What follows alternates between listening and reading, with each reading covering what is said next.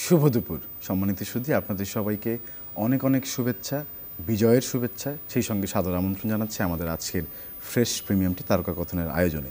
এবং আশা করছি যে যেখানে বসে আয়োজনটি দেখছেন, তারা সকলেই ভালো আছেন, সুস্থ আছেন এবং সুন্দর আছেন।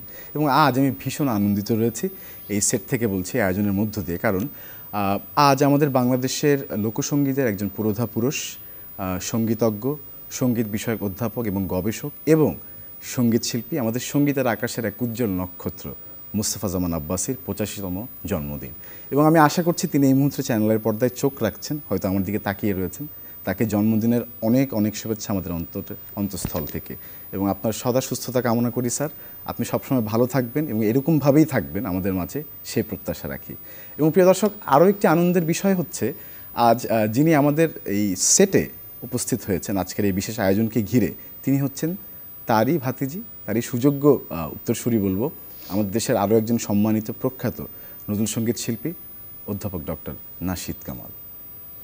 আপা আপনাকে অনেক অনেক স্বাগত এবং আপনার মধ্য দিয়ে আপনার মাধ্যমে আসলে স্যারকে জন্মদিনের শুভেচ্ছাটি আরও একবার দিতে চাই। নিশ্চয়ই নিশ্চয়ই নিশ্চয়ই। এটা তো এটা তো আমার একটা গর্বের বিষয়। আসলে কবি কাজী নজরুল ইসলাম আমার আব্বার নাম রেখেছিলেন মুস্তাফা কামাল যিনি প্রাক্তন প্রধান বিচারপতি ছিলেন। জি। আর তার সাথে মিলিয়ে দাদু তার ছেলেদের নাম রেখেছিলেন। মাঝখানে আরেকটি ভাই ছিল সে মারা গিয়েছে মুস্তাফা জামাল এবং চাচার নাম হচ্ছে মুস্তাফা জামান। এবং চাচা পরে নিজের নামের সাথে মোস্তফা জামান আব্বাসি আব্বাসিটা উনি গ্রহণ করেছেন আব্বাসুদ্দিন নাম থেকে।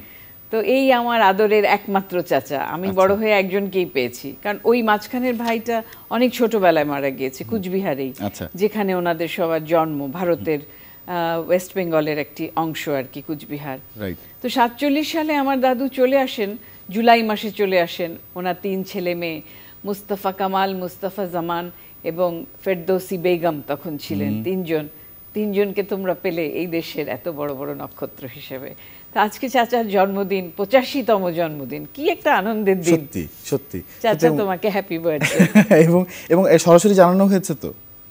জন্মদিনের শুভেচ্ছা জানিয়েছেন তো? আচ্ছা। কথা হয়েছে এখানে আচ্ছা। যে আসছি সেগুলোও জানে। আচ্ছা আমি আশা করছি যে আসলে খুব তীব্রভাবে আশা করছি যিনি আমাদের এই আয়োজনটি দেখছেন।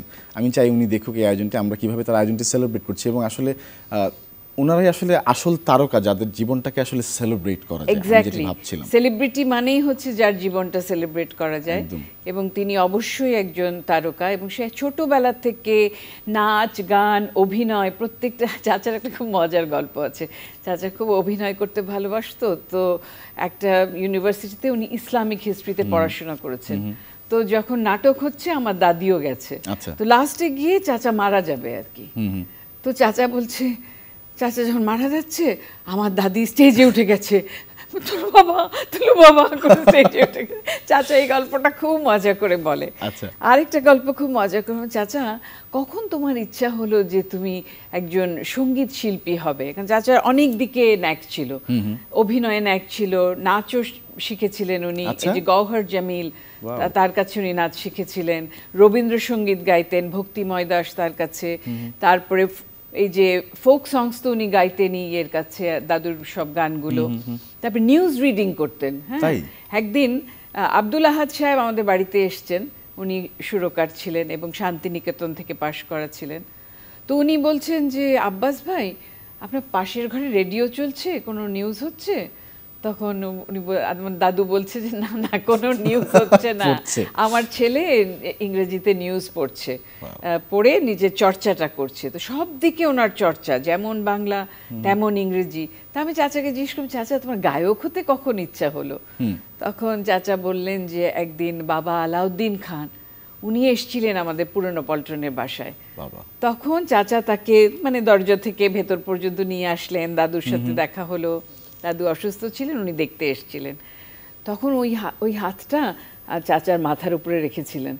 চাচার মনে হয়েছে যে এরকম একটা মানুষ যে চোদ্দোটা ইনস্ট্রুমেন্ট বাজাতে পারে এত বড় একজন মানে সঙ্গীতের বা যন্ত্রের জগতের উনি লোক হ্যাঁ? মিউজিকোলজিস্ট যেটাকে তুমি বলছো হ্যাঁ? তার স্পর্শ পেয়ে ওনার মনে হয়েছে যে আমি সারাটা জীবন আমি সঙ্গীতেই নিজেকে নিবেদন করব। কি সুন্দর না গল্পটা? সে- সেই থেকে কি সঙ্গীতের দিকে যাত্রা আরও আগ্রহটা ওনার তখন শুরু হলো এবং স্বাধীনতার আগেই যখন আসিয়া ছবি প্রথম রিলিজ হয় তখন আমার চাচা আর ফুপু দুজন মিলে ডুয়েট গান গাইলো সিনেমাতে। দেওয়াই করছে মেঘ মেঘালি তোলাইল পুবাইল বাও ধীরে কেন চালাও তরি হে হ্যাঁ? আমার দাদারই গান একটা ভাওয়াইয়া গান চাচা আর ফুফু আমার দাদা গিয়েছিলেন হেমলতা বলে একজনের সাথে ভারতে এটা রেকর্ড হয়। আর চাচা আর ময়না সিনেমার জন্য এটা গাইলো। তারপর ওনারা দুইজনে চলে গেল তখনকার পশ্চিম পাকিস্তান বলতাম কিন্তু আসলে এখন পাকিস্তান। ওখানে ট্যুর করল আর চাচার গান সকলে এত ওনার সেই উদাত্ত গলা নদীর কুল নাই বলে টান দিচ্ছেন। একই সঙ্গে ওনার পরবর্তীতে আমি ইন্ডিয়াতেও অনেকবার গেছি ওয়েস্ট বেঙ্গলে বিশেষ করে। চাচার সাথে গেছি উনি বিভিন্ন দেশে গেছেন জাপানে গেছেন কোরিয়াতে গেছেন ফোকলোরিস্ট হিসাবে উনি বক্তব্যও দিয়েছেন আবার গানও গেয়ে শুনিয়েছেন। মানে মানুষে যে কীভাবে তাকে অ্যাকসেপ্ট করেছে এবং আমাদের প্রাইম মিনিস্টার যেটা বলেছেন একটা কথা প্রাইম মিনিস্টার কিন্তু মাঝে মাঝেই ফোন করেন চাচাকে খোঁজ নেন যে চাচা একটু শরীর খারাপ ছিল সেটা কেমন আছেন? জিজ্ঞেস করেন ফোন করে। তো উনি যেটা বলেছেন যে ব্র্যান্ডিং বাংলাদেশ এটা কিন্তু আমাদের পরিবারটা চাচা ফুপু আমি আরমিন আমরা সবাই অনেক আগের থেকেই বাংলাদেশকে একটা জায়গায় একটা আন্তর্জাতিক জায়গায় পৌঁছানোর জন্য। তো একজন একজন ভদ্রলোক আমাকে বললেন যে চায়নাতে গেলাম আমি একটা মসজিদ দেখতে গেলাম সেই গোয়াংজু। তো ওই মসজিদে উনি বললেন ও আপনি নাশিদ কামাল আপনার চাচা মোস্তফা জামান আব্বাসি। আমরা জি। কেন বলেন তো? বলে উনি এই মসজিদে নামাজ পড়ে গেছেন। দেখেন পৃষ্ঠাটা উল্টিয়ে চাচা যে একটা কমেন্ট লিখে গেছে সেই কমেন্টটা উনি আমাকে দেখালেন। বাংলাদেশকে কোথায় নিয়ে গেছে? সকলে মনে রেখেছে ওই গানগুলো শুনে আর ইংরেজিতে এক্সপ্লেন করছেন।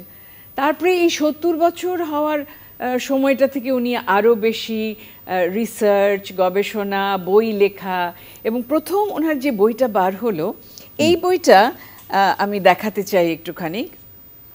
মোহাম্মদের নাম। এটার নাম হচ্ছে মোহাম্মদের নাম। তোমাকে বলেছি চাচা ইসলামিক হিস্ট্রিতে. এম এ করেছেন এবং সবসময় ওনার অ্যাক্টিভ একটা ইন্টারেস্ট ছিল ইসলামিক হিস্ট্রির প্রতি। তো অনেক বই পড়াশোনা করে ওনার দুই মেয়ে সামিরা এবং শারমিনী। শারমিন। তো ওরা যখনই আমেরিকায় পড়াশোনা করতে যায় শারমিনীও পড়াশোনা করতে যায় চাচা এবং আমার চাচি বাংলার অধ্যাপক আসমা আব্বাসি ওনারা সঙ্গে গিয়েছে। এবং লাইব্রেরিতে বসে বসে চাচা অনেক বই পড়ে এই বইটা লিখেছে বাংলায় হজরত মোহাম্মদের জীবনী কিন্তু এটার মধ্যে একটা চমকপ্রদ জিনিস আছে সেটা হচ্ছে ছোটবেলা থেকে উনি যে নজরুল সঙ্গীতগুলো শুনেছেন গেয়েছেন বা রপ্ত করেছেন ইসলামী সঙ্গীতগুলো সেগুলোকে উনি যথাযথ জায়গার মধ্যে ব্যবহার করেছেন। নজরুল এই কে হজরত মোহাম্মদের জীবনীর মধ্যে উনি আবার নজরুলকে সংযোজন করেছেন। এটা চাচা ছাড়া আর কোনো মানুষের পক্ষে সম্ভব হতো না। হ্যাঁ যেমন যেমন উনি হয়তো লিখছেন যে আমি ওখান দিয়ে হাঁটছি আমি দেখলাম একজন লোক সে ওখানে ঝাড়ু দিচ্ছে। তাকে আমি জিজ্ঞেস করলাম ভাই তুমি এখানে ঝাড়ু দিচ্ছ? দেখি বাংলায় কথা বলছে। তখন আব্বাসী সাহেবের মনে পড়ে গেল নজরুলের সেই গান মসজিদেরি ঝাড়ু বরদা হোক আমারে হাত খোদা হোক আমারে হাত। এই গানটা উনি লিখলেন এবং বললেন যে, ওই লোককে আমি বললাম যে, তোমার মতন সৌভাগ্যবান খুব কম মানুষ আছে যে, তুমি এই জায়গাটা আজকে ঝাড়ু দেওয়ার সুযোগ পেয়েছ। নজরুলের গানটা উনি ওখানে বইয়ের মধ্যে কোট করেছেন। এরকম প্রতিটি জায়গায় হ্যাঁ? মা- আমিনার কথা লেখা হচ্ছে হালিমার কোলে নাচে হেলে দুলে শিশু নবী আহমদ হ্যাঁ? এই সব গানগুলো এখানে উল্লেখিত আছে যেটা একমাত্র মুস্তাফা জামান আব্বাসি যেভাবে ধর্ম ইসলামিক হিস্ট্রি হজরত মোহাম্মদের চর্চা এবং এটা যে তিনি গানগুলোকে তিনি এখানে সংযোজন করেছেন ওনার পক্ষেই সম্ভব। চাচা আমাদেরকে খুব উৎসাহ দেয়। আমার যে প্রথম বইটা ছিল জুই ফুলের বারান্দা সেখানে একটা কথা লিখেছি যেটা আজকের দিনে ভীষণ প্রাসঙ্গিক। তা হচ্ছে যখনই আমরা দেখি যে মানুষেরা অনেক নামাজ কালাম পড়ে তারা রিলিজিয়াস হয় তখনই তারা ভাবে যে এই ধারাটা একটা ধারা আর যারা গান বাজনা করে তাদের ধারাটা আলাদা একটা ধারা। কিন্তু আমি যে বড় হয়েছি আমার বাবা ছিলেন চাচা ছিলেন দুজনে ওরা খুব পাঞ্জে গানা নামাজি আমার দাদাও তাই ছিলেন। তো আমাদের বাসায় একটা স্মৃতির কথা আমি বলেছি যে হঠাৎ হঠাৎ করে ইলেকট্রিসিটি চলে যেত রাতের বেলা। তো চাচা হারমোনিয়ামটা বার করে বারান্দার মধ্যে আমরা তিন বোন আর চাচার দুই মেয়ের কথা বললাম সামিরা আর লাবণী। আমরা সবাই বসে বসে গান টান গাইতাম। গাইতে গাইতেই বাইতুল মুকাররাম থেকে ফজরের আজান দিতে শুরু করল। চাচা ইমাম হয়ে গেল আব্বা এসে জয়েন করল আমরা সবাই মিলে পিছনে দাঁড়িয়ে আমরা নামাজ পড়লাম। দুটোর মধ্যে কোনো বিরোধ নেই যে গান গায় যে নামাজ পড়ে সবই কিন্তু আল্লাহ তালার বন্দনা সবই কিন্তু তারই শানে আমরা আজকে করতে পারছি। তো এই পঞ্চাশটার উপরে তিনি বই লিখেছেন। লিখেছেন। তার মধ্যে এইটা আরেকটা নতুন যেটা স্পষ্ট জ্যোতি আল কোরআন এটার মধ্যে বাংলাতে তিনি কোরআন শরীফটাকে অনুবাদ করেছেন। এবং এটা আমার সবচেয়ে বেশি ভালো লাগে যে অন্যান্য অনুবাদ ভীষণ কঠিন বাংলায় হয় যেটা আমরা আমাদের ছেলে মেয়েদের হাতে হয়তো দিতে পারি না। এটাতে খুব সহজভাবে উনি লিখেছেন এবং আমি অনেক বই কিনে বাংলাদেশের মানে আনাচে কানাচে ব্যান্ড স্টকের যে একটা লিস্ট আছে না স্কুল কলেজে আমি সেখানে পোস্ট করে করে প্রায় মানে মনে করো তিনশো বই আমি এটা পাঠিয়েছি যে এখান থেকে আমরা কোরআনিক মেসেজেস পাবো। বাহ। এবং আমি শুধু হ্যাঁ আরেকটি বই আছে আব্বাসুদ্দিন আব্বাসুদ্দিন মানুষ ও শিল্পী। এটা শ্রদ্ধা আব্বাসুদ্দিন আহমদকে নিয়ে লেখা হ্যাঁ ওনার বাবাকে ওনার দেখা ওনার বাবার জীবনী বাবার সঙ্গে স্মৃতি বাবার অনেক গল্প যেমন আমি তোমাদেরকে চাচার গল্প বলছি হ্যাঁ, উনি তো ওনার বাবাকে দেখেছেন একেবারে মৃত্যু পর্যন্ত।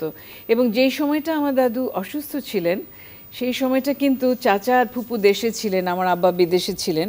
চাচা ভীষণ যত্ন করে আব্বাসুদ্দিন আহমেদকে দেখাশোনা করেছেন। এটা কিন্তু একটা বিরাট গুণ আমার চাচার। কোনো সময় কোনো বিষয়ে উনি মুখ কালো করেন না।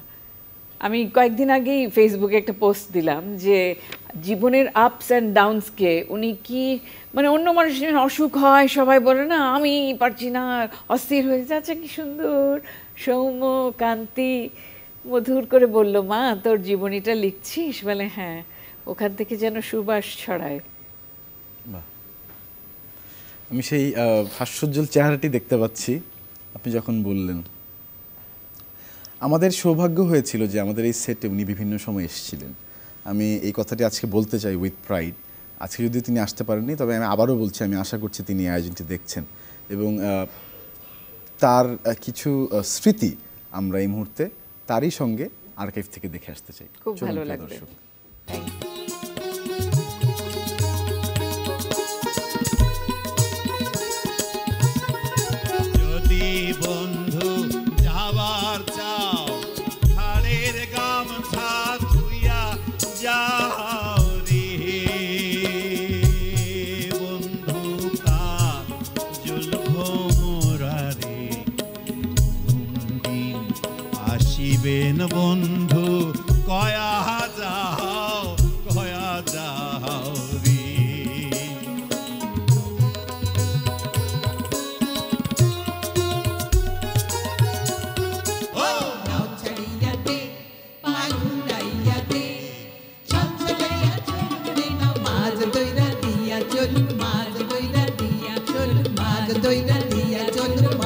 জন্মদিন শুভ জন্মদিন শুভ জন্মদিন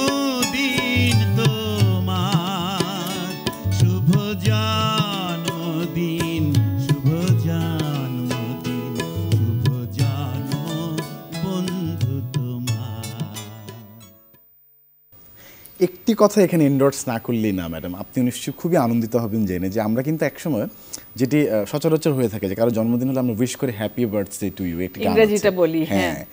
মোস্তফা জামান আব্বাস স্যার যেদিন আসলেন একদিন উনি নিজেই কিন্তু গুনগুন করে এই গানটি গাইতে শুরু করলেন। আজকে থেকে প্রায় পনেরো বছর আগের কথা বলছি। এবং সেই থেকেই এই গানটি আমাদের এই আয়োজনের সঙ্গে পেটেন্ট হয়ে গেল। হ্যাঁ আমি দেখেছি সেটা হ্যাঁ। আর আরেকটা ইন্টারেস্টিং কথা আমি বলতে চাই যে ওনার ছোট মেয়ে যে শারমিনী সেও তো অনেকগুলো বই লিখেছে অনেক পুরস্কার প্রাপ্ত। মাইকেল মধুসূদন পুরস্কার বাংলাদেশে প্রথম আলো পুরস্কার পেয়েছে। সবাই ওরা সামিরা শারমিনী দুজনেই খুব গুণী। শারমিনীর ছোট ছেলে আলভি ওরও আজকে জন্মদিন। ও নানা এবং নাতি হ্যাঁ দুজনের একই দিনে জন্মদিন। শুভ জন্মদিন আলভিজ আপনি যদি আমাকে শুনে থাকেন এই মুহূর্তে চ্যানেলের হ্যাঁ। পর্দায় আপনাকে জন্মদিনের অনেক অনেক শুভেচ্ছা। উই আর শুভেচ্ছা। ভেরি লাকি হ্যাঁ যে নানার সাথে হ্যাঁ, একই একই দিনে। দিনে তার জন্মদিন। ওরা দুই ভাই বোন স- আহ, আহ, আলভি অ্যান্ড সারিনা। আর সামিরার দুই ছেলে মেয়ে তাদের নাম হচ্ছে তাদের নাম হচ্ছে আরমান। আমার আরমিনের সাথে মিলিয়ে আরমান বড় ছেলে ডাক্তারি পড়ছে আর ছোট জনের নাম হচ্ছে শাইজা। ওরা ফ্লোরিডাতে থাকে। তা আরেকটা বইয়ের কথাও আমি বলি পুরিব একাকি। এইটা নজরুলের উপরে লেখা ওনার বই। তুমি আইয়ুবির কথাটা বলো হ্যাঁ আমি- বলছি হ্যাঁ। আমি সে সেটি বলতে চাইছিলাম যে শুধুমাত্র আসলে হয় কি যারা মহারথী যারা বিরাট শিল্পী যারা প্রকাণ্ড শিল্পী আমাদের দেশের আমাদের যারা সঙ্গীতের আকাশের উজ্জ্বল নক্ষত্র তারা শুধুমাত্র তার কথাটা চিন্তা করার পরে আসলে পরের পরবর্তী প্রজন্মের কথা হয়তো চিন্তা করার সুযোগটি হয়তো পায় না। হয়তো চিন্তাটি থাকে যে করব। কিন্তু মুস্তফা জামান আব্বাসী কিন্তু সেই চেষ্টাটি চালিয়ে যাচ্ছেন একদমই তাই। এবং ইন্ডিপেন্ডেন্ট ইউনিভার্সিটিতে তিনি কাজী নজরুল ইসলাম এবং আব্বাসুদ্দিন আহমদ গবেষণা ও শিক্ষা কেন্দ্র নামে একটি ডিপার্টমেন্ট শুরু করেছেন যেখানে ছাত্রছাত্রীরা এই প্রজন্মের নজরুল সম্পর্কে জানতে পারছেন এবং আব্বাসুদ্দিন আহমদ সম্পর্কে জানতে পারছেন। সেই জন্য আসলে তাকে আমি বিশেষভাবে ধন্যবাদ জানাতে চাই স্যার আপনি যদি আমাকে শুনে থাকেন। এবং তার পরে আপনি যে বইটি নিয়ে কথা বলছিলেন ম্যাডাম ভাওয়াইয়ার জন্মভূমি আপনার হাতে দেখতে পাচ্ছি। এটাও কিন্তু আরেকটা মানে এক পাথ ব্রেকিং যেটাকে বলে যে অন্যরা কেউ ভাবে নাই।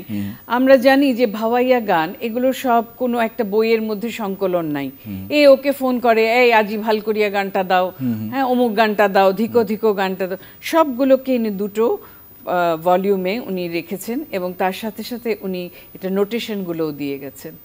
ফোক কালেক্টর তিনি ফোক কালেক্টর কাজে উনি তুমি যদি এখন যাও যে কোনো সময় এই একটা গান শিখতে চাও এটার মধ্যে সমস্তগুলো আছে কথাও আছে সুর আছে প্রথম কে গেয়েছিল সব কিছুই আছে ভূমিকা আছে ভাবাইয়া গান কোনটা ভাবাইয়া কোনটা খিরোল কোনটা চটকা হ্যাঁ যে যেটা জানতে চাইবে মানে ওনার ওনার কাজটা দেখে তুমি বুঝতে পারছ উনি- উনি একটা সাবজেক্টের রিসার্চার না উনি ভেরিয়াস সাবজেক্টসের রিসার্চার এবং ওনার মাপের মানুষ সত্যি পাওয়া আমাদের জন্য বিরল। তারপর ওনার জীবনটা যে বার হয়েছে জীবনীটা লিখেছেন এটা জীবন নদীর উজানে। এবং একটা কথা আসলে এই মানে কি বলব এই প্রিভিলেজটা আমি নিতে চাই সম্মানিত দর্শক যে একটি মানুষের জীবনে তার সকল কর্ম আমরা বলি যে ইরেজ মিডিয়া ম্যাডাম সব কিছু আসলে মুছে যায় বা হারিয়ে যায়।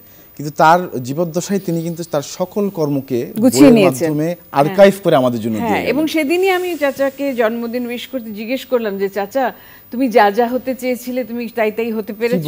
রাজা বললেন হ্যাঁ আমি পেরেছি। এটা শুনে যে আমার কি খুশি লাগল আমি তোমাকে বলে বোঝাতে পারব না। হ্যাঁ কারণ সব মানুষ অতদিন বাঁচে না সব মানুষ অতদিন গুছিয়ে গুছিয়ে কাজ করে যেতে পারে না। হ্যাঁ উনি সত্তর বছর বয়সে রবীন্দ্রনাথ লিখেছেন, কুসুমে কুসুমে চরণ চিহ্ন দিয়ে যায় সত্তর বয়স থেকে চাচা কিন্তু এই লেখাগুলো শুরু করেছেন, পঞ্চাশটা বই তার বার হয়েছে।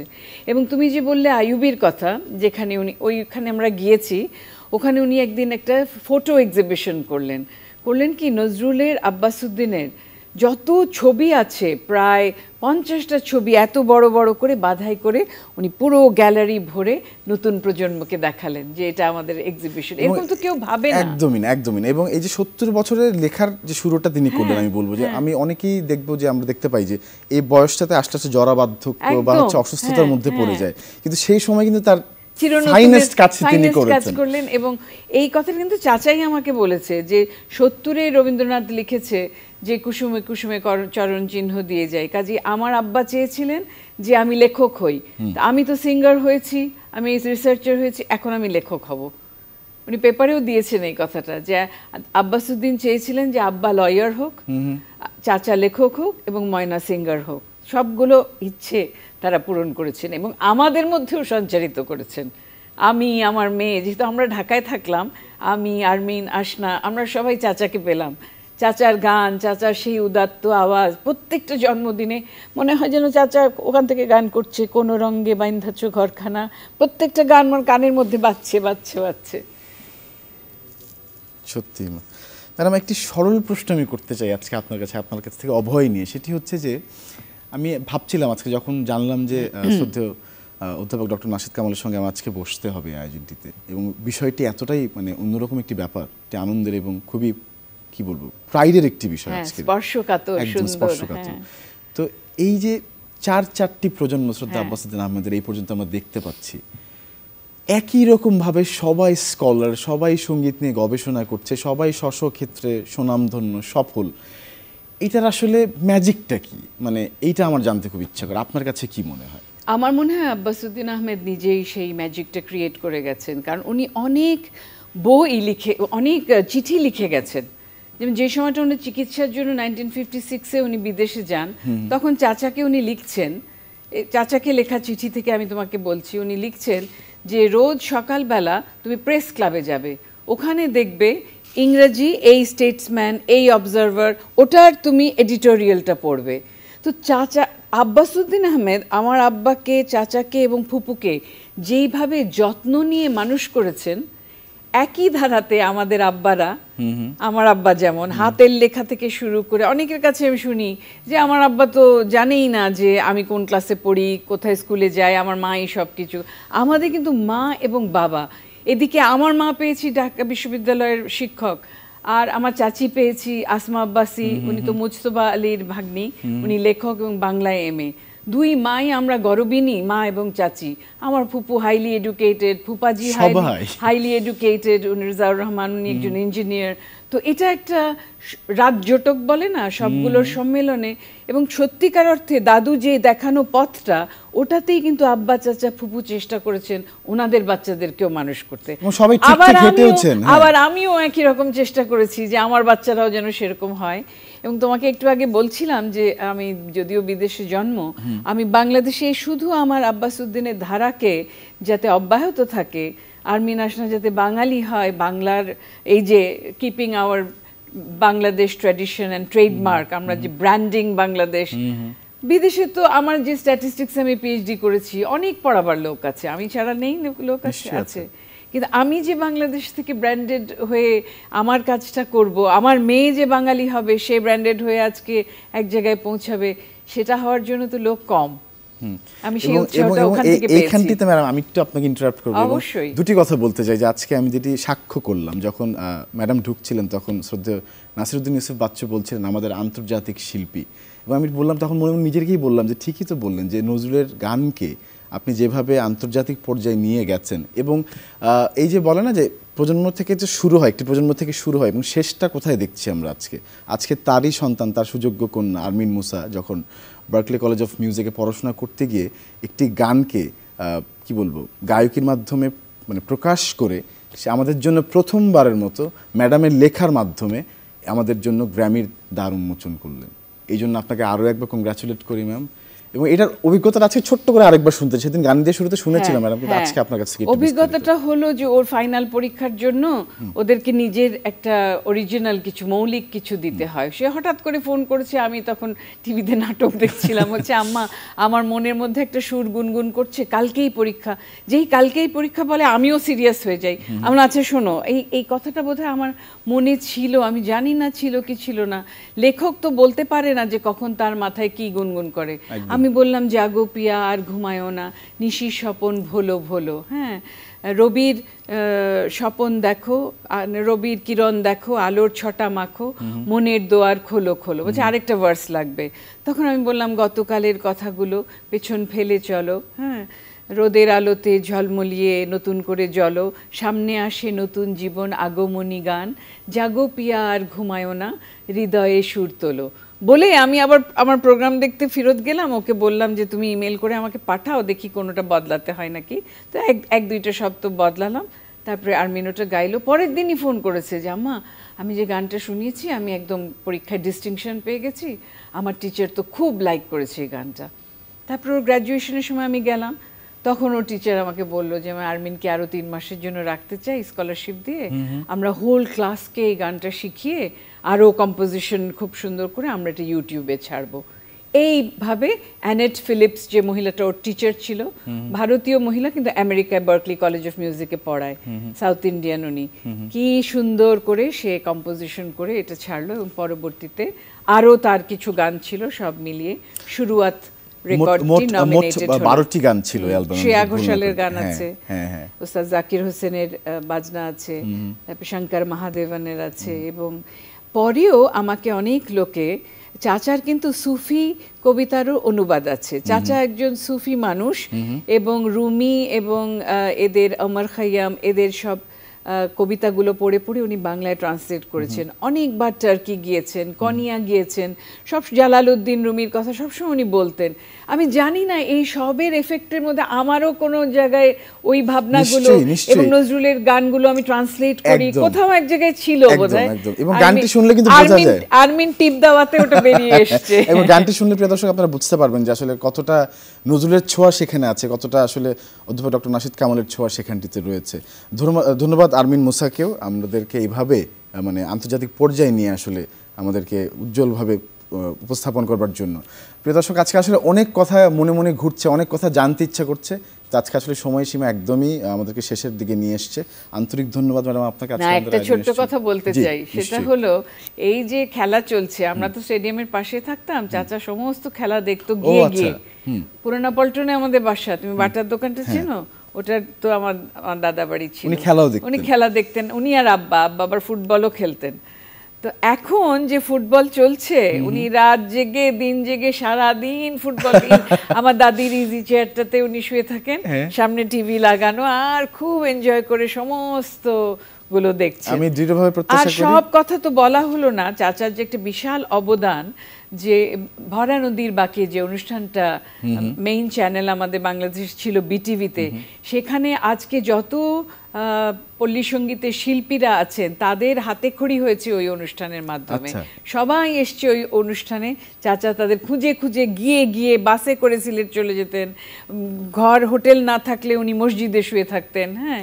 এরম করে বান্না থেকে সুবীর নন্দী থেকে সবাইকে উনি খুঁজে খুঁজে নিয়ে এসে এই অনুষ্ঠানে প্রেজেন্ট করে আসলে একজন মোস্তফা জামান আব্বাসকে কিনে কথা বলতে গেলে অথবা এই পুরো পরিবারকে নিয়ে কথা বলতে গেলে একটা পরিচ্ছন্ন ডকুমেন্টারির প্রয়োজন আমার মনে হয় ম্যাডাম আমি ফিল করি।